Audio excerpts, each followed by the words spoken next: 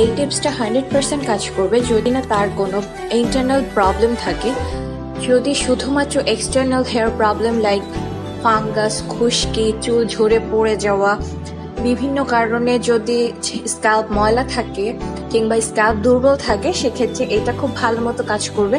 কিন্তু কারোর যদি রক্ত শূন্যতা ফ্যাটি লিভার এসব টাইপের ইন্টারনাল প্রবলেম থাকে, সেক্ষেত্রে তাদের এই রেমেডিটা কাজ করতে সময় লাগবে। আমি কিন্তু এখানে পেঁয়াজের রসটা নিচ্ছি। যে পেঁয়াজটা থাকবে, তোমরা চাইলে সেটা স্যালাডে ইউজ করতে পারো বা রান্নার কাজে ইউজ করতে পারো। তো এখানে কোনো ধরনের কোনো ওয়েস্ট নেই। কিছুক্ষণ আগে যে মরিচটা আমি ইউজ করেছি, সেটাও তোমরা ইউজ করতে পারবে যে কোনো তরকারি অথবা স্যালাডে। ইভেন আমি এখন যে পেঁয়াজটা ইউজ করছি সেটা ইউজ করতে পারবে যে কোনো তরকারিতে।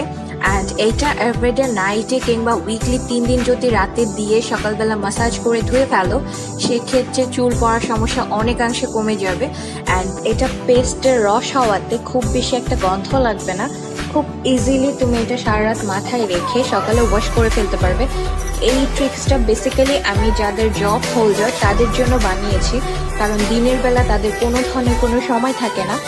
তো তারা যদি বাহির থেকে এসে রাতে এটা অ্যাপ্লাই করে ঘুমিয়ে পড়ে এবং ম্যাক্সিমাম টাইম অফিসে যাওয়ার আগে সবাই কম বেশি শাওয়ার নিয়ে যায় সো শাওয়ার নেওয়ার সময় শ্যাম্পু অ্যান্ড কন্ডিশনার দিয়ে হেয়ারটাকে ওয়াশ করে ফেললেই হয়ে যাবে।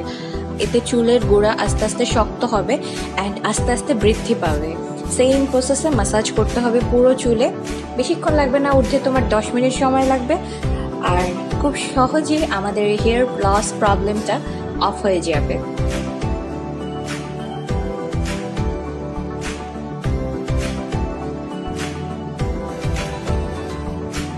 আর আমি যেভাবে ফুল হেয়ারে অ্যাপ্লাই করার পরে স্প্রে করার পরে, দেখো, হালকা করে একটু আঙ্গুলে পেঁচিয়ে দুবার টান দিচ্ছি। সেম এই প্রসেসে মাসাজ করতে হবে পুরো মাথায়। ভালো থাকো এবং সুস্থ থাকো, যে কোনো ট্রিক্স অ্যান্ড টিপস পাওয়ার জন্য স্পন্থর্মি ইউটিউব চ্যানেলে সাবস্ক্রাইব করে রেখো।